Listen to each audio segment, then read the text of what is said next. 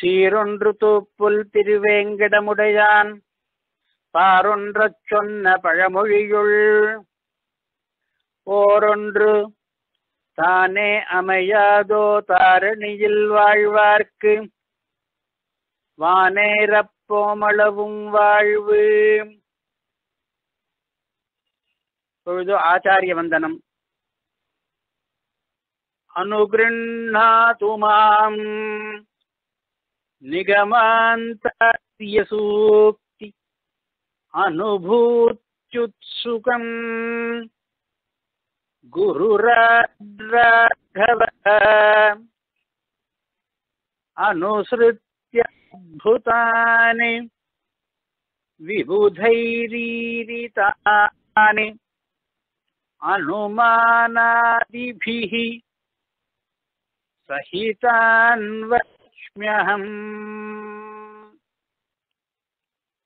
இந்த ஸ்லோகத்தினுடைய அர்த்தம் நிகமாந்த மகாதேசிகனின் சூக்திகளுக்கு ஏற்கனவே நிறைய விபுதர்கள் அற்புதமான அர்த்தங்களை சொல்லியிருக்கிறார்கள்.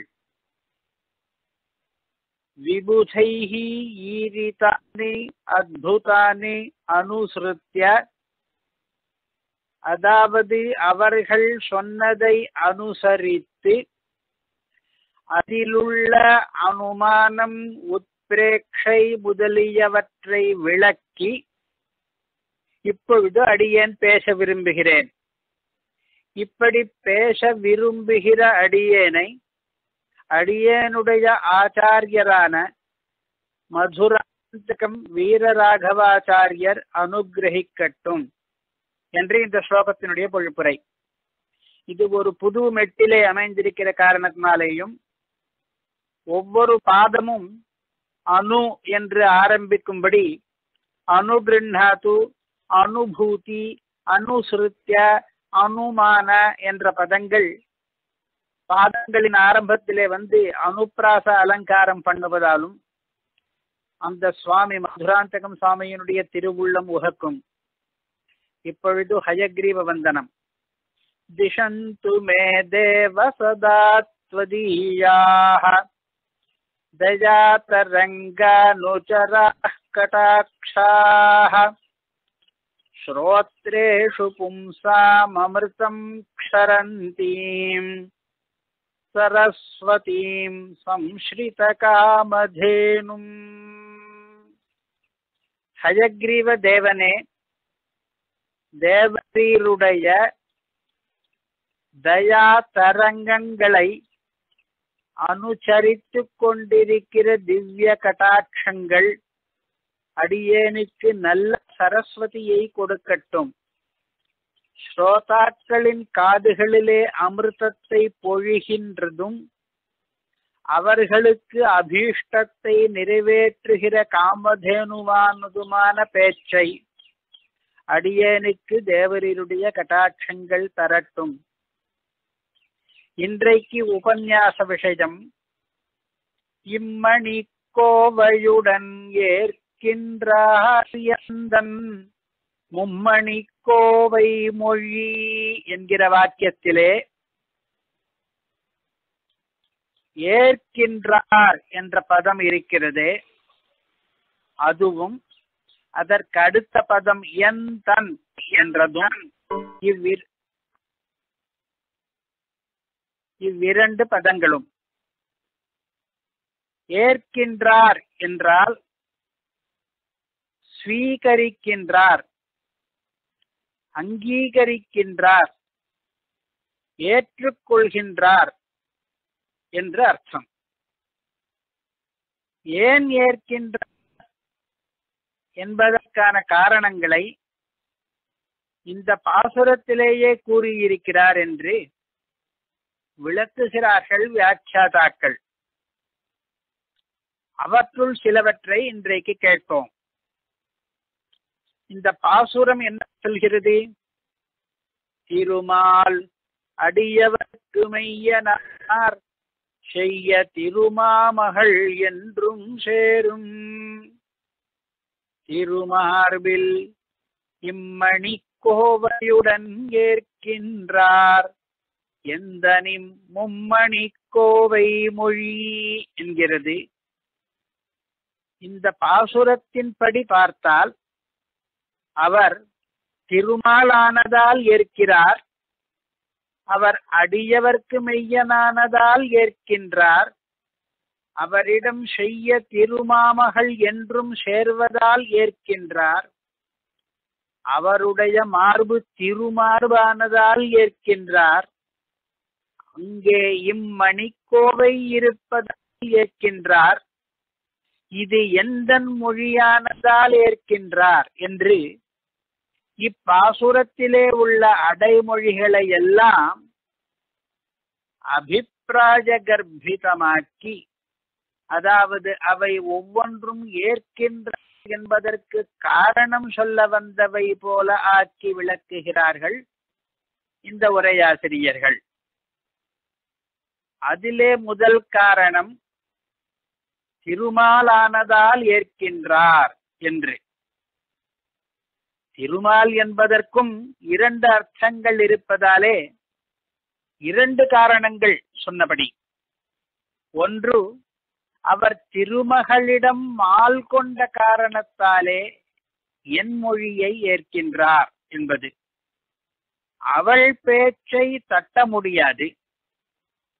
அவள் என் மொழியை ஏற்கும்படி சிபாரிசு பண்ணினால் அதை மறுக்க முடியாது.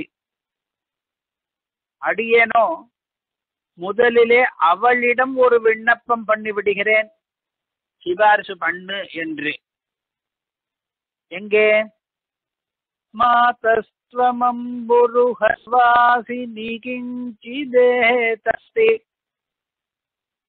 விஜ்ஞாப்யதே மயி குருஷ்வ ததா பிரசாதம்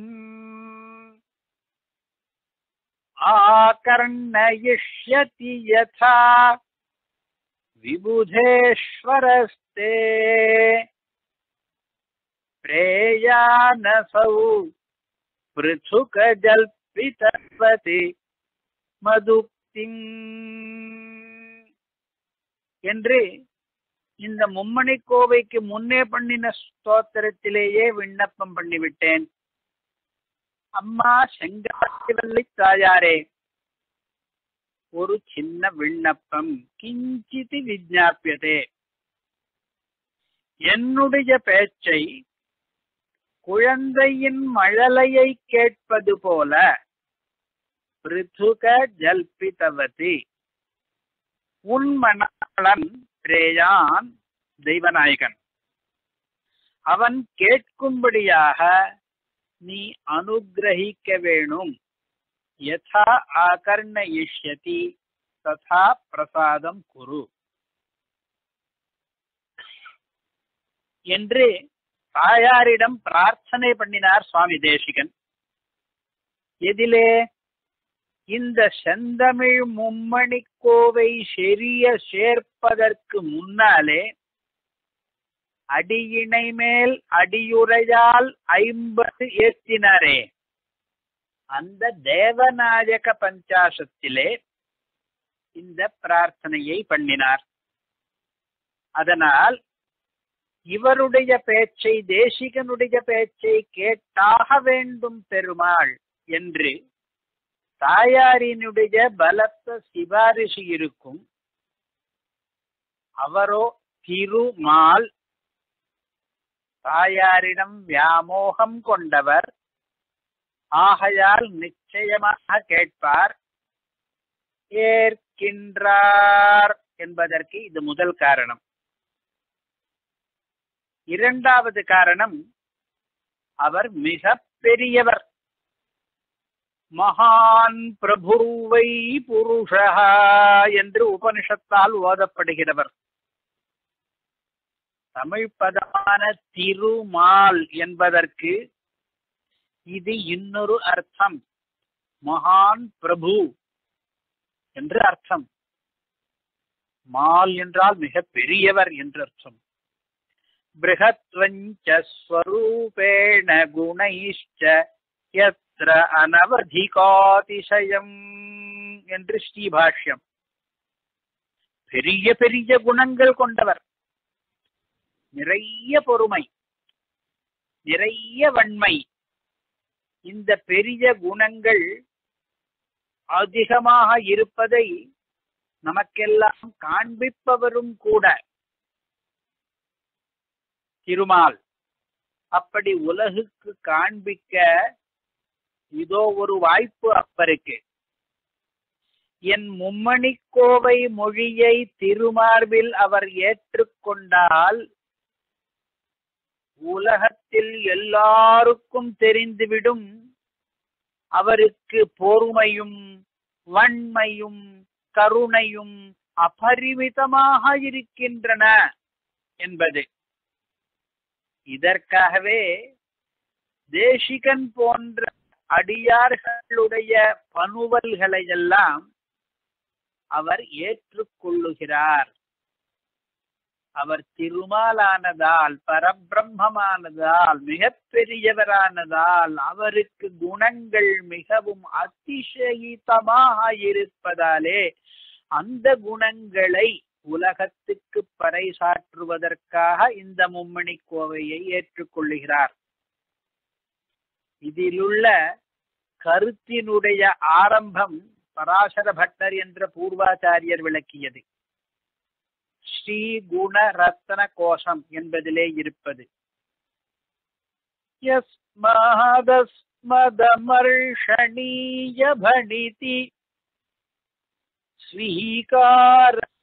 பணிதி ஸ்வீகாரஸ்தே குணாः क्षान्त्यहुदार्यदयादयो भगवती स्वाम् பிரஸ்னுவீரம் பிரதாம் பகவதி மகாலட்சுமியே பெருமாளுடைய திரு கல்யாண குணங்கள் உலகத்தார்க்கு மிகுதியாக வெளிப்படுவதற்கு என்னுடைய ஸ்துதியை ஏற்றுக்கொள்வது ஒரு சாதனம் ஆகிறது. பணிதி ஸ்வீகாரத என்பது மொழியை ஏற்கின்றாரே அது. உம்மணிக்கோவையிலே மொழியை ஏற்கின்றார் என்று இருக்கிறது இதிலே பணிதி ஸ்வீகாரதா என்று இருக்கிறது. எப்படி இந்த ஏற்றுக்கொள்ளல் என்பது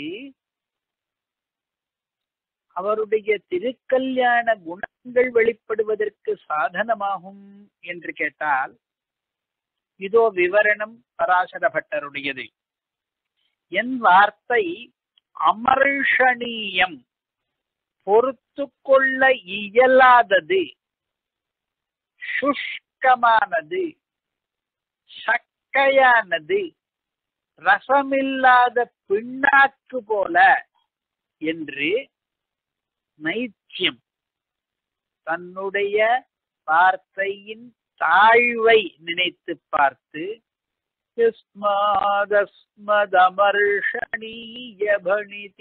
என்கிறார். பிரம்மா முதலிய மற்றவர்கள் பண்ணுகிற ஸ்தோத்திரத்தோடு ஒப்பிடும்போது இது மனுஷர்களான நாம் பண்ணுகிற ஸ்தோத்திரங்கள் அலட்சியப்படுத்தத்தக்கவை. இதை அவர் ஏற்றுக்கொள்ள வேண்டியது கிடையாது. இதை கேட்டுக்கொண்டிருப்பதற்கே மிகவும் பொறுமை தேவைப்படும்.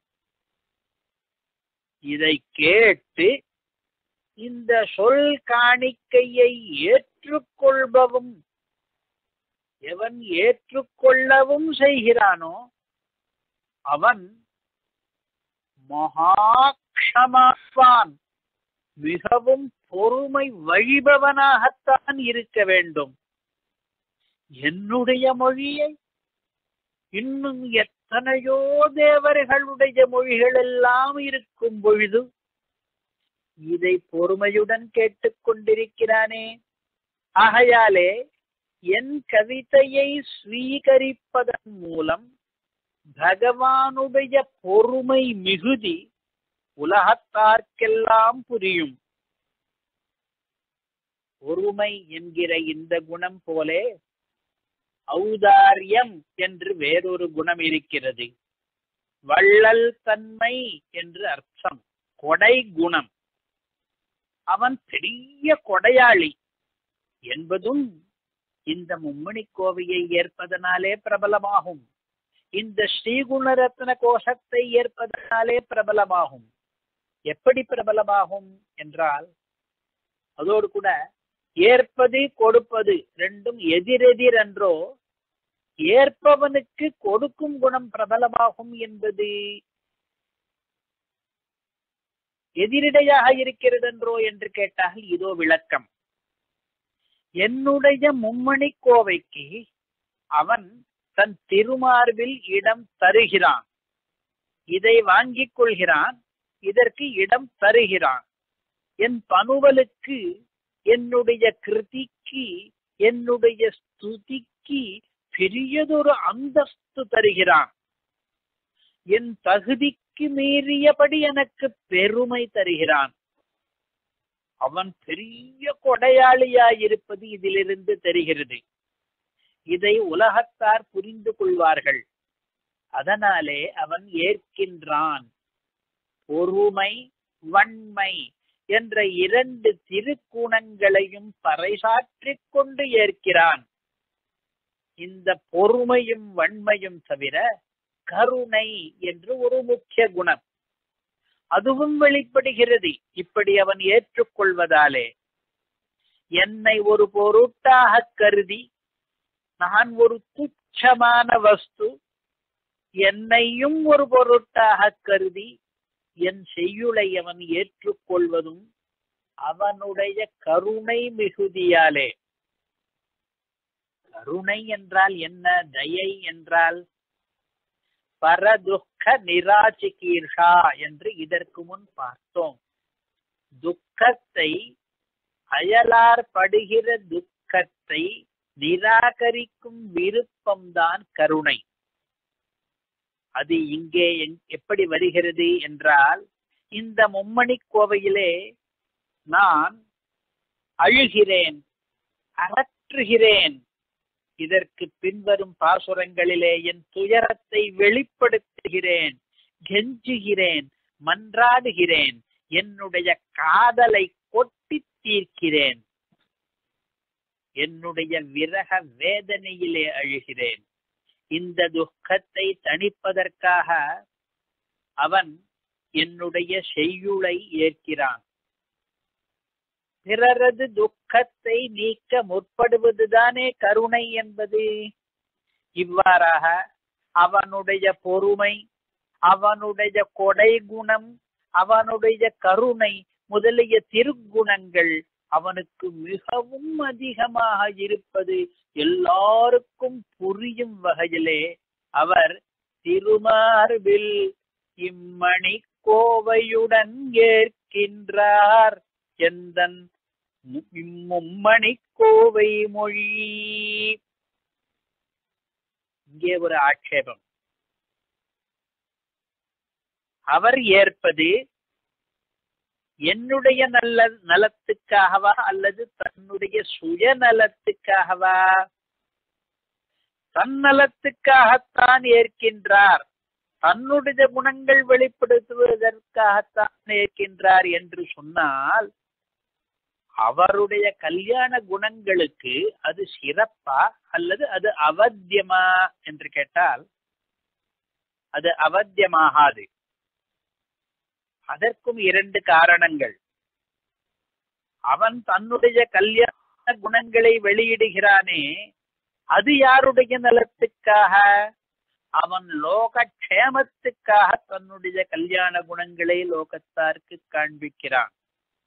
தெரிந்து கொண்டால் மற்ற பலருக்கும் நன்மை ஏற்படும்.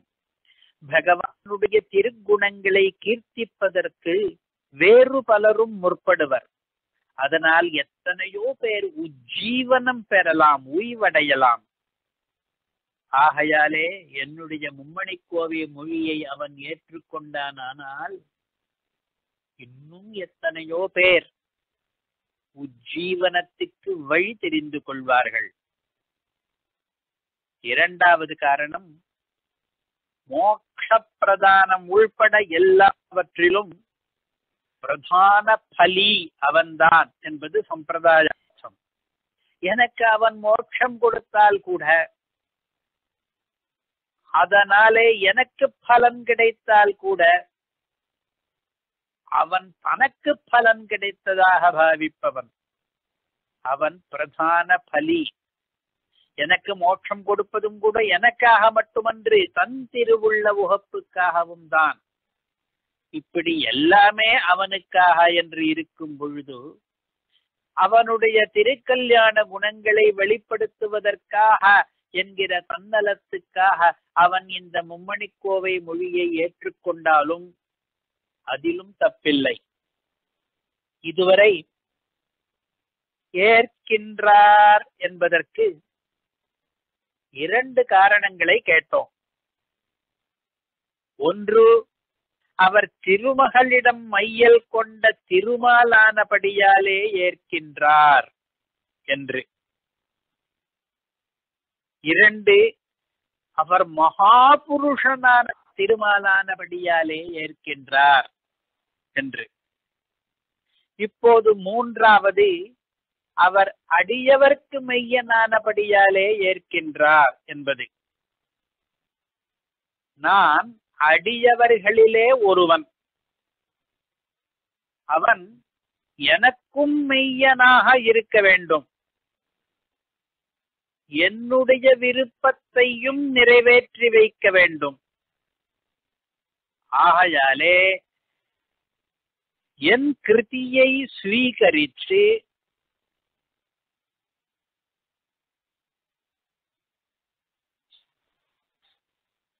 அவர் தான் அடியவர்க்கு மெய்யன் என்பதை நிரூபித்துக் கொள்கிறார். இளைய புன்கவிதையேலும் எம்பிறக்கு இனியவாரே என்கிறார் ஒரு ஆழ்வார் என்னுடைய கவிதையினுடைய ரசமோ வளமோ அவனை ஈர்ப்பதாலே அவன் ஏற்கின்றான். என்று சொன்னாலும் சொல்லலாம் ஆனால் நான் அப்படி சொல்லவில்லை. அவாப்த சமஸ்த காமனையும் அவாவ வைக்கும்படி கவிதை இயற்றுவது என்பது எவராலும் முடியாது. நான் அடியவனாக இருந்து இயற்றிய கவிதை என்பதுதான் அவன் ஏற்பதற்கு காரணமாயிருக்கும். அடியவர்களுக்கு மெய்யனாக இருப்பது என்பதில் அடியவர்களின் பேச்சை கேட்டு மகிழ்வது என்பது கூட அடங்கும். துஷ்டூஷதோ மம மனோரத சித்திதாயி. தாசேஷு சத்ய இதி தாரய நாமதேயம். என்கிறார் தேவராஜ கபஞ்சாசத்திலே. அடியவருக்கு மெய்யனானபடியால் தான் ஸ்தோத்திரத்தை ஏற்க வேண்டும். அவனே ஸ்தவப்பிரிய ஸ்தோதா என்று ஸ்தவப்பிரியனாக இருப்பதால் ஏற்பது கிடக்கட்டும். ஆனால் அடியவனான நான் துதிக்க விரும்புகிறேன். துஷ்டூஷதோ மம இந்த ஸ்தோத்திரத்தை நீ ஏற்க வேண்டும் என்பது என்னுடைய மனோரதம். அந்த மனோரதத்துக்கு மனோரத சித்திதாயி அதை நிறைவேற்றினால் உனக்கு அடியவர்க்கு மெய்யன் என்கிற பெயரானது தகும். தாசேஷு சத்ய இதி தாரய நாமதேயம் என்று இதனுடைய கருத்து. அவன் அடியவர்க்கு மெய்யனாக இருப்பது இந்த மும்மணிக்கோவையை ஏற்கின்றார் என்பதற்கு காரணமாகிறது. இதுவரை திருமார்பில் ஏற்கின்றார் என்பதற்கு மூன்று காரணங்களை புரிந்து கொண்டோம். அவன் திருமகளிடம் மால் கொண்ட திருமாலானபடியாலே ஏற்க வேண்டிய நிர்பந்தம் ஏற்பட்டு விட்டது என்பது முதல் காரணம். அவன் பொறுமை முதலிய கல்யாண குணங்களை மிகுதியாக கொண்டவன் என்ற அர்த்தத்திலே திருமால் ஆதலாலே அவன் இதை ஏற்கின்றான் என்பது இரண்டாவது காரணம். அவன் அடியவர்க்கு மெய்யனாதாலே ஏற்கின்றான். என்று மூன்றாவது காரணம். இவ்வாறாக திருமால் அடியவர்க்கு மெய்யனார் என்று முதல் வரியிலே சொன்ன அடைமொழிகளை எல்லாம் திருமார்பில் ஏற்கின்றார் என்று சொன்னதற்கு காரணங்களாயின. இனி நாலாவது காரணம். இப்படி ஏற்பட்டாலே தனக்கே உகப்பு உண்டாவதாலே ஏற்கின்றான் என்பது. நாம் வளர்க்கிற கிளியினுடைய கொச்சை பேச்சை கேட்டு நாம் மகிழும் போது அந்த மகிழ்ச்சிக்கு காரணம் அந்த பேச்சிலே இருக்கிற அர்த்த புஷ்டியோ இலக்கிய வளமோ சாகித்ய ரசம் அதெல்லாம் கிடையாது.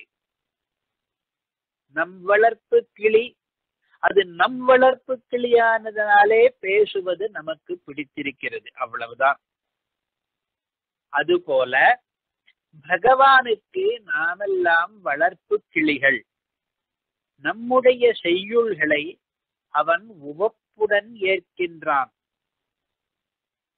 स्तोत्रम् मया विरचितम्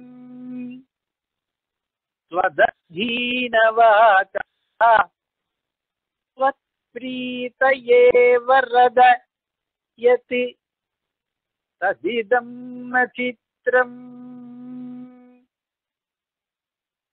आवर्जयन्ति हृदयम् खलु शिक्षकान्।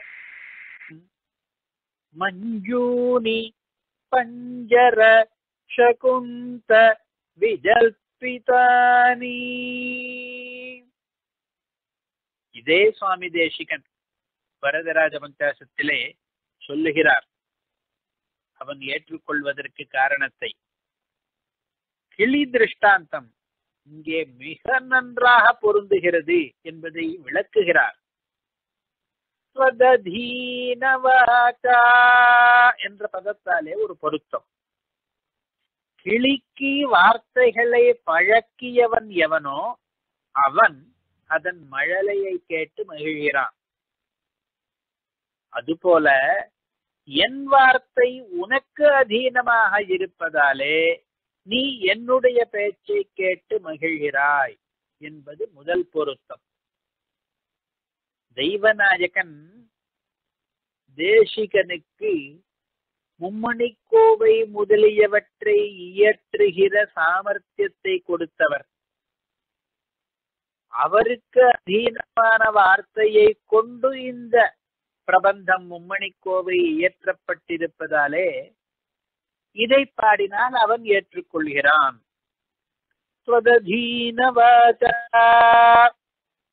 அடுத்தது இரண்டாவது. பஞ்சகுந்த பஞ்சரகுந்தாலே இரண்டாவது பொருத்தம்.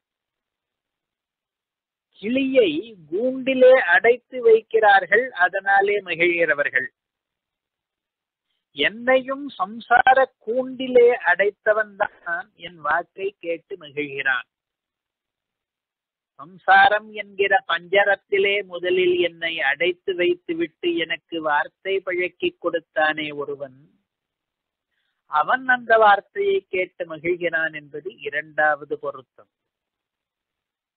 அடுத்தது விஜல் பிதாசி என்பதிலே மூன்றாவது பொருத்தம். கிளி கொச்சையாக பேசுகிறது.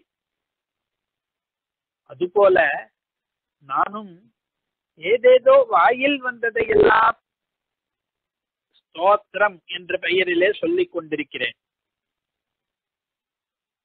எல்லாம் உளறல்கள் தான் இருந்தாலும் வளர்ப்பவனுக்கு அது இன்பம் தருகிறது.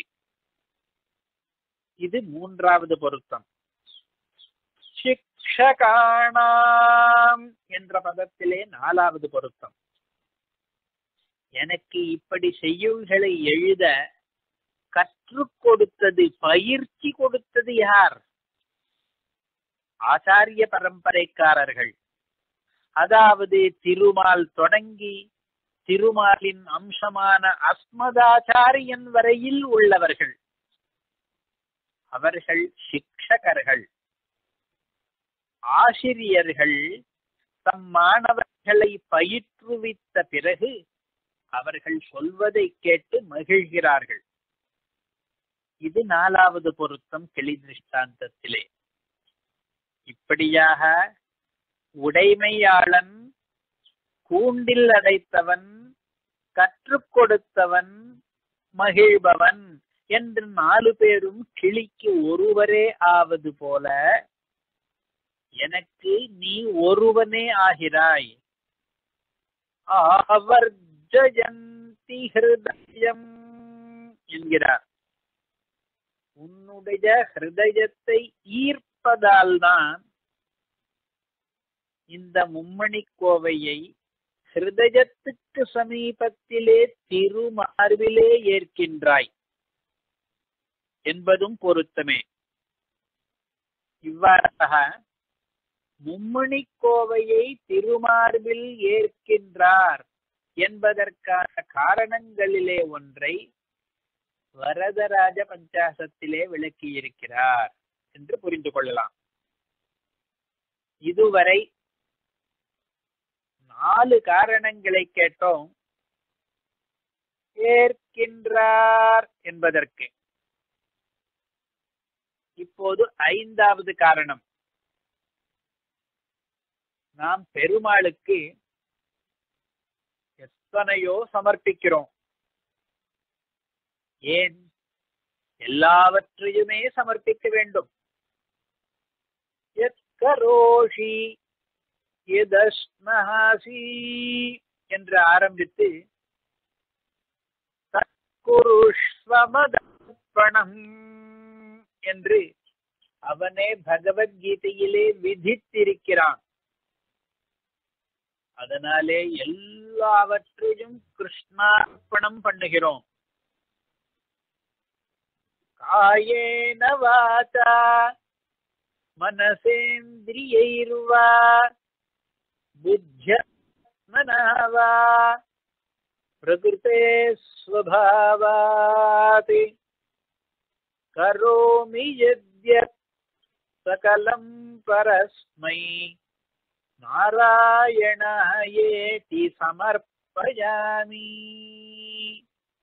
என்று பிரதிதினமும் சொல்லி வருகிறோமே அதன்படி உடலாலும் வாக்காலும் மனசாகும் பண்ணுவதை எல்லாம் நாராயணனுக்கு என்று அர்ப்பித்து விடுகிறோம்.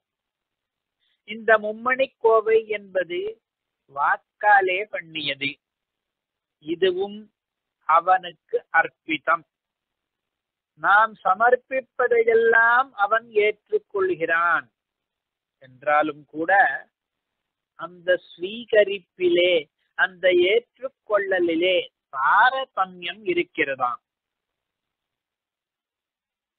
சிலவற்றை உரிமையுடன் ஏற்கின்றார். சிலவற்றை உவகையுடன் ஏற்கின்றார். சிலவற்றை உயர்ந்ததாய் ஏற்கின்றார். உரிமையுடன் மட்டுமாய் ஏற்பதை திருவடியிலே ஏற்கின்றார். உவகையுடன் ஏற்பதை திருமார்பிலே ஏற்கின்றார். உயர்ந்ததென்று ஏற்பதை திருமுடியிலே ஏற்கின்றார் தலையிலே. இந்த மூன்றுக்கும் மூன்று உதாரணங்களை பார்ப்போம். எல்லாம் ஆச்சாரியர்கள் காட்டிய வழி. ஹோமத்திலே நாம் சமர்ப்பித்ததை அவர் திருவடியிலே ஏற்றுக்கொள்கிறார். சரணாகதி மூலம் நாம் சமர்ப்பித்த ஆத்மாவை அவர் திருமார்பிலே ஏற்கின்றார். ஆண்டாள் சூடிக் கொடுத்த மாலையை அவர் தன் தலையிலே ஏற்கின்றார். எல்லாம் உதாரணங்கள். இந்த பாகுபாட்டை வரையறுத்து சொல்வது என்பது முடியாது. அப்படி சொல்ல தேவையும் இல்லை. ஆனாலும் கூட இப்படி ஒரு பாகுபாடு ஆங்காங்கே இருப்பதை நாம் புரிந்து கொண்டாக வேண்டும். ஏனென்றால் இவ்விடத்திலே மும்மணி கோவையை திருமணத்திலே ஏற்கின்றார் என்று அருளி செய்ததனுடைய நோக்கம் அப்போதுதான் நமக்கு புரியும். சிலவற்றை திருவடியில் ஏற்கின்றார் சிலவற்றை திருமார்பில் ஏற்கின்றார் சிலவற்றை திருமுடியில் ஏற்கின்றார் என்பதற்கான பாகுபாடுகளையும் பாகுபாடுகளுக்கான காரணங்களையும் புரிந்து கொண்டால் இங்கே மும்மணி கோவையை அவர் திருமார்பில் ஏற்பதற்கான காரணம் நமக்கு புரியும். இதற்காக ஒரு ஸ்ரீ சுத்தி ஸ்ரீமத் ரகசியத்ரயசாரத்தில் இருந்து பரமைகாந்திகள் அல்லாதார் பண்ணும் கைங்கரியத்தை சர்வேஸ்வரன் திருவடிகளாலே கை கொள்ளும் என்னுமிடத்தையும் பரமைகாந்திகள் பண்ணும் கைங்கரியத்தை திருமுடியாலே கை கொள்ளும் என்னுமிடத்தையும். ஸ்ரீவேதவியாச பகவான் அருளி செய்தான். என்று சரம ஸ்லோக அதிகாரத்திலே இதனுடைய அர்த்தம் என்ன? கைங்கரியத்தை பகவான் ஏற்றுக்கொள்கிறான். யார் பண்ணினாலும் எந்த கைங்கரியம் பண்ணினாலும் பகவான் ஏற்றுக்கொள்கிறான். ஆனால் கைங்கரியத்தை யார் எந்த மனப்பான்மையுடன் பண்ணுகிறார் என்பதற்கு ஏற்ப வேறுபடுகிறது அதை பகவான் ஏற்றுக்கொள்ளுகிற பாங்கு. சில கைங்கரியங்களை திருவடியிலே ஏற்பானாம். இன்னும் சில கைங்கரியங்களை திருமுடியிலே ஏற்பானாம். அந்த கைங்கரியத்தை பண்ணுகிறவன் அந்த கர்மாவை பண்ணி அவரிடம் சமர்ப்பிக்கிறவன் பரமை காந்தியா இல்லையா என்பதை முதலில் பார்ப்பானான் அதை பொறுத்து இந்த வேறுபாடு வருமா? பரமை காந்தி சமர்ப்பித்தால் தலையாலே ஏற்றுக்கொள்ளுவான். மற்றவர் சமர்ப்பித்தால் தன்னுடைய திருவடியிலே ஏற்றுக்கொள்ளுவான். தேசிகன்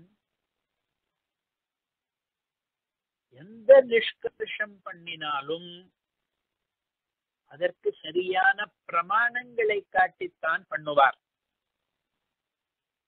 இப்பொழுது சொல்கிற கருத்துக்கு பிரமாணமாக மகாபாரதத்திலிருந்து ஒரு மேற்கோள் காட்டுகிறார்.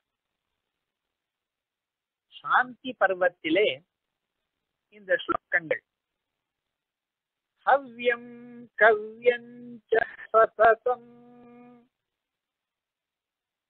விதிபூர்வம் பிரயுஞ்சதே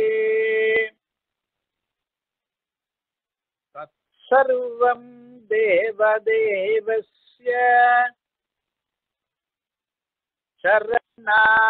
शरणावुपतिष्ठते याः क्रियाः सम्प्रयुक्ता स्युः एकान्तगतबुद्धिभिः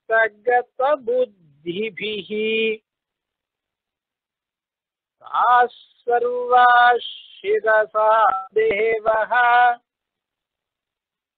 प्रतिगृह्णाति वै स्वयम्। இந்த மகாபாரத ஸ்லோகத்திலே பிரதிகிருண்ணாதி என்ற பதத்துக்கு ஏற்கின்றார் என்று தமிழில் அர்த்தம். சிலவற்றை சில திருமேனியின் சில அவயவங்களிலே ஏற்கின்றார். சிலவற்றை சரணாவுபதிஷ்டதே திருவடியிலே. சிலவற்றை சிரசா பிரதி கிருண்ணாதி திருமுடியிலே. என்று இங்கே வித்தியாசம் காண்பிக்கிறார். அதுபோல மும்மணி கோவையை திருமார்பிலே ஏற்கின்றார். இந்த மகாபாரத ஸ்லோகங்களுக்கு பிரசித்த வித்வானாக எழுந்திருளியிருந்த நவநீதம் ஸ்ரீராம தேசிகாச்சார் சுவாமியினுடைய தமிழ் வடிவத்தை வாசித்து கேட்டால் தெளிவாக அர்த்தம் புரியும். இது அவர் சொல்கிற அர்த்தம். தேவதைகளுக்கும் பித்திருக்களுக்கும் முறைப்படி கொடுக்கிற ஹவிஸ் முதலிய வஸ்துகள் தேவாதிதேவனான எம்பெருமானுடைய திருவடிகளிலே சேருகின்றன. ஆனால் பரமை காந்திகள் செய்யும் கர்மங்களை எல்லாம் எம்பெருமான் தானே தன் திருமுடியாலே பெற்றுக் கொள்கிறான் என்று. நாம் நித்தியம் எத்தனையோ ஹோமங்களையும் அடிக்கடி பித்திருக்காரியங்களையும் பண்ணுகிறோம். ஹோமத்திலே ஹவ்யங்களை சமர்ப்பிக்கிறோம்.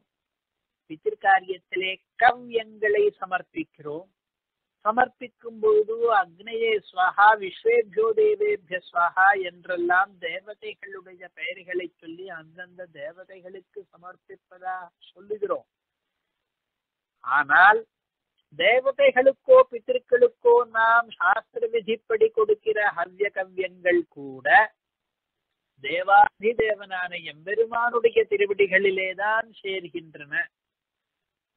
இதை தெரிந்து கொண்டு பரமைகாந்திகள் தேவ பித்திருக்களை கூட பரம் பரமாத்மாவினுடைய ஷரீரங்களாக நினைத்து கொண்டு அதே காரியங்களை பண்ணும் பொழுது அவர்களுடைய கர்மங்களை எல்லாம் எம்பெருமான் தானே தன்னுடைய திருமுடியாலே ஏற்றுக்கொள்ளுகிறானா? மரியாதையுடன் ஏற்றுக்கொள்ளுகிறானா? இதிலே இன்னொரு வித்தியாசத்தையும் கவனிக்கிறோம். ஸ்வயம் என்கிற பதம். பிரதிகிருண்ணாதி வை ஸ்வயம். சில வஸ்துகள் அவரிடம் போய் சேருமா? இன்னும் சிலவற்றை அவன் ஸ்வயமாகவே பெற்றுக் கொள்வானாம் தன்னிடம் வருபவற்றை ஏற்றுக்கொள்ளும் போது சிலவற்றுக்கு மட்டும் தானே வரவேற்புடன் ஏற்றுக்கொள்வானாம். தலைதாய் தாழ்த்தி ஸ்வீகரிப்பானாம். வீட்டுக்கு எத்தனையோ விருந்தாளிகள் வருகிறார்கள். எல்லாரையும் உபச்சரிக்கிறோம். ஆனாலும் உபச்சரிப்பிலே பல தாரதமியங்களை பார்க்கிறோம் அல்லவா? எல்லாருக்கும் அர்க்ய பாத்தியம் கொடுக்கலாம் எல்லாருக்கும் சாதம் போடலாம் அன்னதானம் பண்ணலாம். ஆனால் சில பேருக்கு பெரிய உபச்சாரங்களை பிரீத்தியோடு பண்ணி அதிதி சத்காரம் பண்ணுகிறோம் அல்லவா? அது போல பெருமாளே கூட தாரதமியம் எல்லாம் காட்டி பண்ணுகிறார் என்று தகவலே சுவாரஸ்யமா இருக்கிறது. பெருமாள் பண்ணும் போது கூட வாய்ந்த தாரதமியங்கள் இருக்கும் என்றால் ஆமாம். இது கொஞ்சம் சுவாரஸ்யமான தகவலாக இருப்பதாலே நேராக மகாபாரத புஸ்தகத்தையே பார்த்து விடுவது நல்லது. சாந்தி பருவத்திலே. அதிலே பார்த்தால் ஒரு கதை. நாரதர் ஒரு முறை ஸ்வேத தீபத்துக்கு போய்விட்டு திரும்பி வந்தாராம். திரும்பி வந்த பிறகு நரநாராயணர்களை சென்று தரிசித்தாராம். நரநாராயணர்கள் பகவதம்சமான அவதாரங்கள். அவர்கள் நாரதரை குசல பிரசனம் பண்ணி வேத தீபத்திலே நீ என்ன தெரிந்து கொண்ட என்று கேட்டார்களாம்.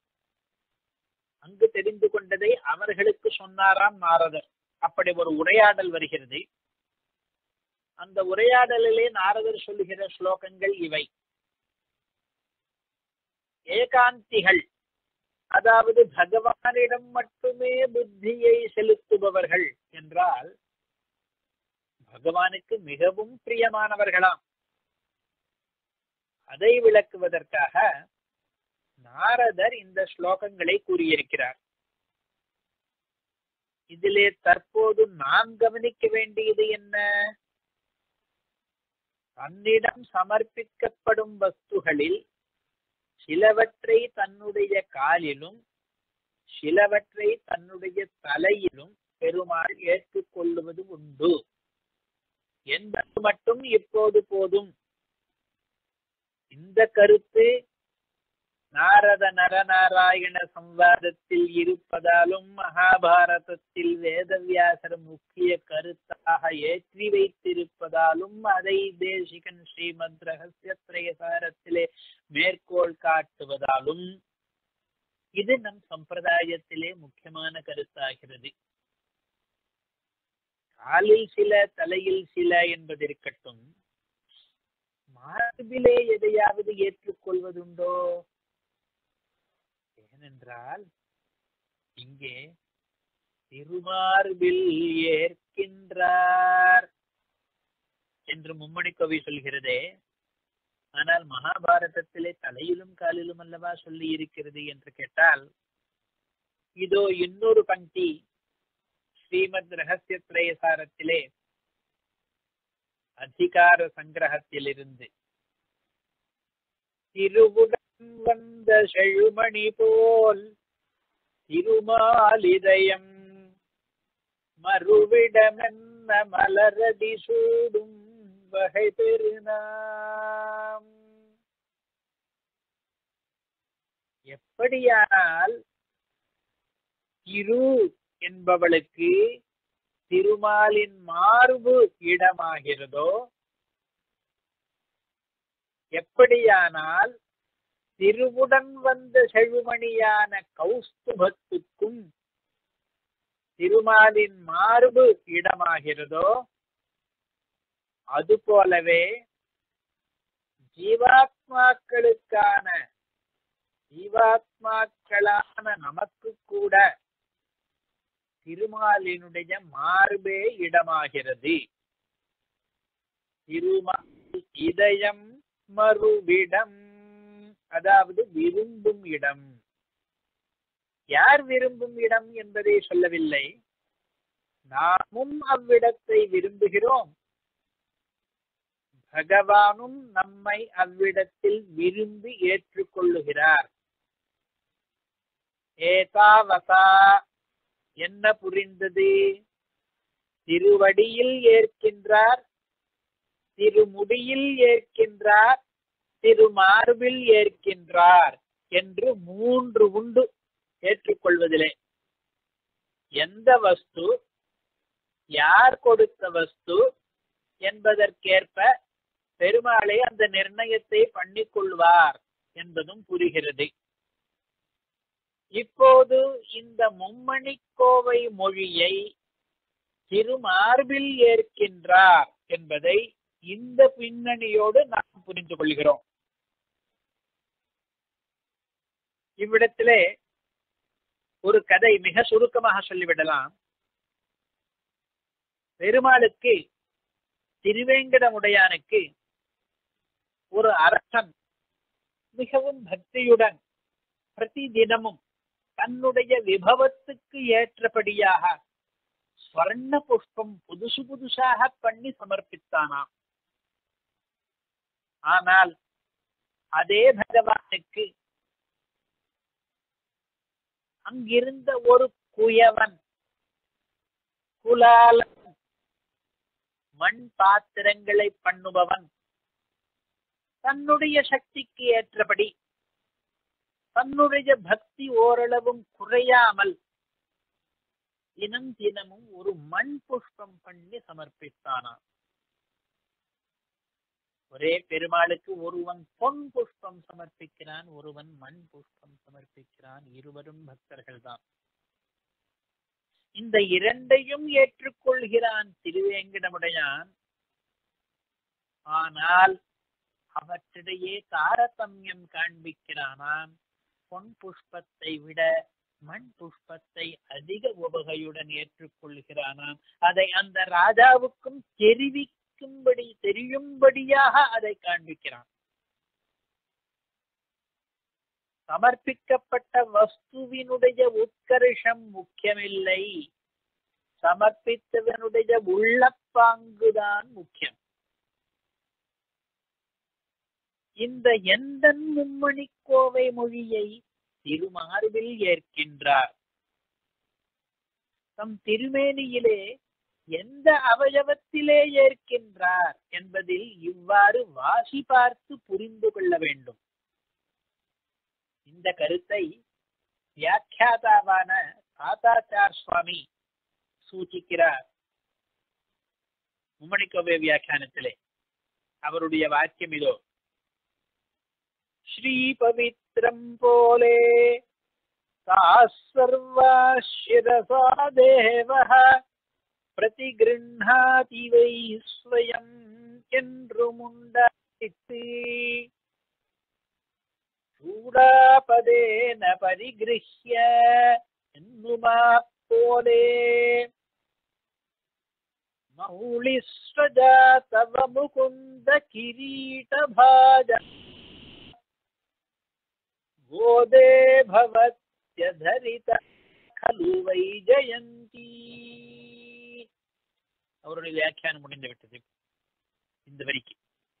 இப்பொழுது வியாக்கியாதா ஏற்கின்றார் என்பதற்கு சம்ஸ்கிருதத்திலே இருக்கிற பரிகிரகம் என்கிற வார்த்தையை வைத்து சுருக்கமாக அர்த்தம் சொல்கிறார். சூடாபதேன பரிகிருஹ்ய என்னும் போலே மௌளிஸ்வஜா தவ முகுந்த கிரீடபாஜா கோதே பவத்யதரிதா கலு வைஜயந்தி. இவர் மிக ரத்ன சுருக்கமாக எழுதி நிறுத்திவிட்டார். இந்த ஸ்லோகத்தை மேற்கோள் காட்டிவிட்டு இந்த ஸ்லோகத்தினுடைய அர்த்தத்தை கூட சொல்லவில்லை. வியாக்கியாத்தா நிறுத்திவிட்டார். இவர் என்ன பண்ணுகிறார்? நம்மை ஒரு ஒப்பீடு பண்ணி பார்க்க சொல்கிறார். எதற்கும் எதற்கும் ஒப்பீடு? ஆண்டாளுடைய மாலைக்கும் தேசிகனுடைய மும்மணி கோவைக்கும் ஒப்பீடு பண்ண வேண்டுமாம். அப்பொழுது தெரியுமாம் ஏற்கின்றார் என்பதனுடைய உள்ளர்த்தம். என்னென்ன ஒப்பீடுகள் இருக்கின்றன சாமியங்கள் இருக்கின்றன ஆண்டாள் சமர்ப்பித்த சூடி கொடுத்த மாலைக்கும் தேசிகன் இப்பொழுது சமர்ப்பிக்கிற மும்மணி கோவை என்கிற பிரபந்த மாலைக்கும் என்றால் இரண்டுமே நாயிகா பாவத்தில் சமர்ப்பித்த மாலைகள் இரண்டுமே காதல் மேலீட்டால் சமர்ப்பித்த மாலைகள் என்பது முதல் ஒப்புமை. ஒன்றை அவன் தலையில் ஏற்றான் இன்னொன்றை திருமார்பில் ஏற்கின்றான். அவயவம் வேறானாலும் ஒரு பிரகிருஷ்டமான அவயவத்திலே பகவான் இந்த மாலையை ஏற்றுக்கொள்கிறான் என்பது பொதுவாயிற்று. இது இரண்டாவது ஒப்புமை. மூன்றாவது அது வைஜயந்தியை விஞ்சுகிறது கீழ்த்தள்ளுகிறது. அதரிதா கலு வைஜயந்தி என்ற அங்கே பதம். இது கௌஸ்துபத்தோடு உடனுரைகிறது சமஸ்தானம் பெறுகிறது. இம்மணி கோவையுடன் ஏற்கின்றார் என்று இங்கே பதம்.